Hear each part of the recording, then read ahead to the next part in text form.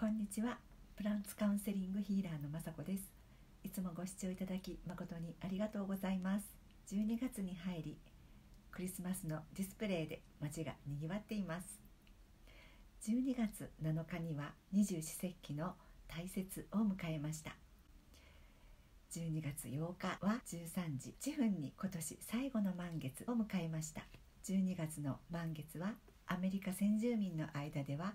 コールドムーンと呼ばれ厳しい寒さの中に浮かぶ満月がその由来です。日本の伝統的な季語でも寒月月左右といったものもあります。満月は新月から月が次第に大きくなって満ちることからここまで頑張ってきた物事が達するタイミングです。うまくいかなかったことは軌道修正をしたり必要でないと気づいたものは手放したりうまくいったことは次の目標を検討します。振り返りと調整や手放しを行うことがおすすめです。12月は私の誕生月でもあります。美しい植物や香りのご縁でおかげさまで年を重ねるごとに誕生日を迎える喜びを感じています。誕生日にいただいた花束がモーブ紫藤色のニュアンスカラーの花束でした。紫色のチャクラでもある第7チャクラに響くモーブ色は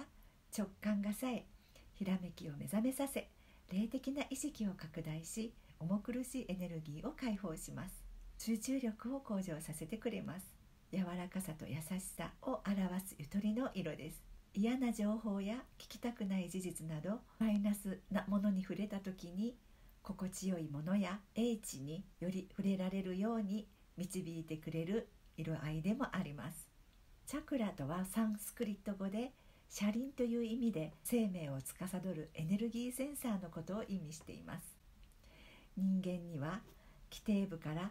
頭頂部まで7つのチャクラがあり車輪のようにそれぞれのチャクラがうまく回って活性していると心身ともに健康な状態であると言われています。各チャクラについては以前にマゼンタカラーの時にお伝えもしていますけれども基底部は赤下腹部丹田はオレンジ胃のあたりは黄色胸のあたりは緑喉は青眉間はロイヤルブルー頭頂部は紫その上にマゼンタカラーがあるとお伝えしました。紫のチャクラは第7チャクラで頭頂部です。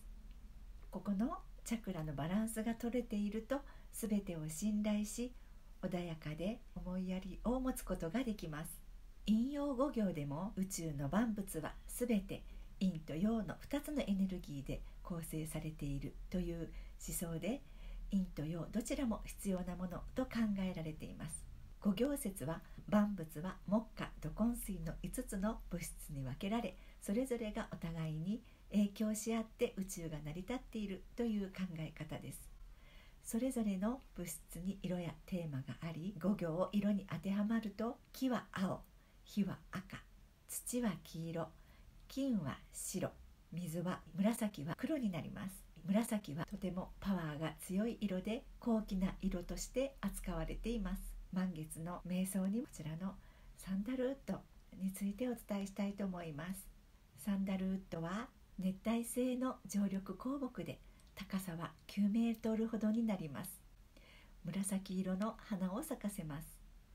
60年ほどかけて生木になるサンダルウッド約 50kg の芯材から 1kg の精油が取れます。ウッディでエキゾチックな香りが特徴です。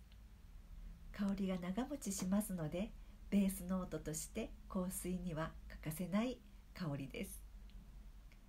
古くからインドの寺院で瞑想時の訓香として使われることも有名です。緊張や不安を感じた時や心地よく眠りたい時にもおすすめの香りです。サンダルウッドは白檀という名前で知られています。鎮静神経競争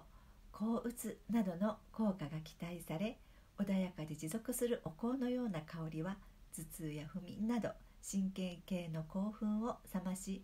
心地よい状態を作り上げる効果が期待できます。血流を良くしてくれるので冷えやむくみを改善するとともに熱を発散して冷ましてくれます。血や訴え除去循環器系呼吸器系の喉の痛みや咳にも効果が期待できます。年末年始は何かと忙しい時期ですので私も今夜はサンタルウッドをブレンドしたアロマバスにゆったりと使って自分軸に整えたいと思います。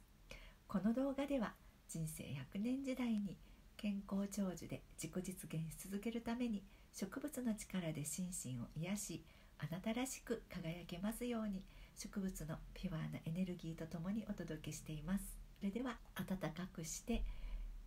素敵なクリスマスシーズンをお過ごしくださいご視聴ありがとうございました。